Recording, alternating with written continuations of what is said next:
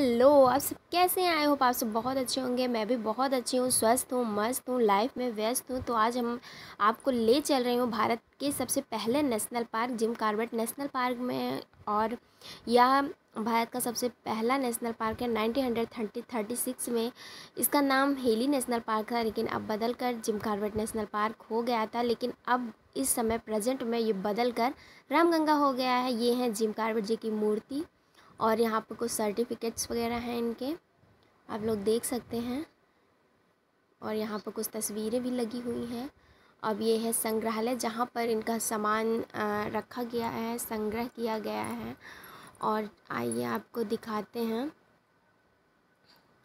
उनके ज़माने की लाइट वगैरह रखी हैं। और ये हैं सोफ़े।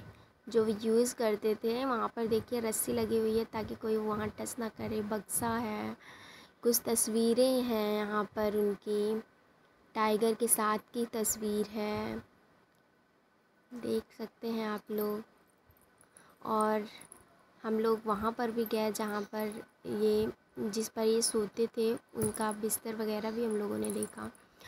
यहाँ पर आप लोग देखिए, रस्सी बंधी थी इसलिए ज़्यादा अंदर नहीं जा पाए, लेकिन देखे हम लोग, वहाँ पर देखिए आप लोग टेबल वगैरह ये यूज़ करते थे जो वैसी की वैसी ही पड़ी हुई हैं।